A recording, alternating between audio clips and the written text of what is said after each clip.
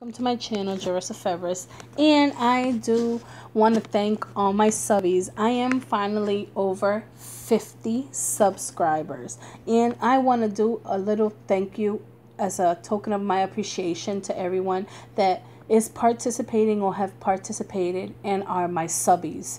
Um, um, I ended up hitting up Miss Anne, Miss Oracle, um, Nail Oracle and um, asked her some advice. I needed help on what to do for my 50th subby um, giveaway.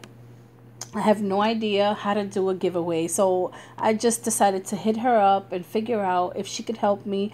And she gave me a couple of um ways to do it. So I did decide on one of them. She did tell me to do one giveaway about my personal favorites. I don't I have a lot of favorite personal stuff. So I'm just to show a couple of the things. She told me to do one video at a time. I will I'll try to make it short since I'm to put a lot. I'm to make a basket. And in my basket is to have some of my favorite stuff. Like I don't know if any of y'all know and y'all seen in my pages. Um on my Facebook page, I am an extreme couponer and I do coupon a lot. So, um, I do have a couple of stuff, and I want to give a chance to everyone to participate. And I'm gonna put some stuff in a basket, but I will show you one, maybe one or two in each video, so you could more or less tell me what you think I paid for each item and whichever is the one closest at the total amount at the end of my last video when I show everything in the box. Hope one of you guys win. Um, I know one of you guys will win, but I'm like so excited. I'm so sorry I'm babbling on, but I'm excited. She gave me a nice, um, great idea to do. And um, for starters, I'm going to start with the most expensive thing but it was one of my inexpensive stuff. And it's one of my favorites. As everyone knows i am uh, anything that has to do with candle and smelling good i am a freak. I love perfumes. I love colognes. I love hand sanitizers with with fragrance. And i love um, my house smelling good I love Bath and Body Works. That's one of my favorite stores and I love their sprays and I love their waxes and the candles. So I'm always burning 24/7 um my burners. And one of my favorites is the first one I'm going to start with and I need you guys to figure out how much you think I paid for this.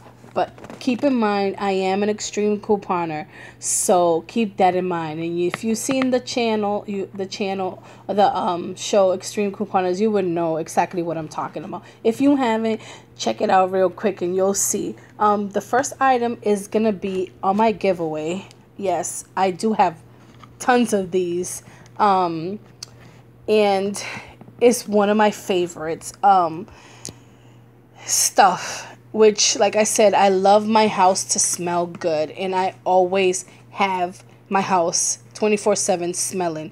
Like not only Glade but I have from where I work celebrating home to um like dollar not dollar tree dollar general um waxes and stuff from Tiffany that I order online, which she has a store, and um, she's on Facebook, and I have her on Facebook, and I usually order from her and some other of the different girls some wax wax tarts to put in Yankee Candle. That's another of my favorites. Um, so hope you guys try to guess how much you think I paid for this.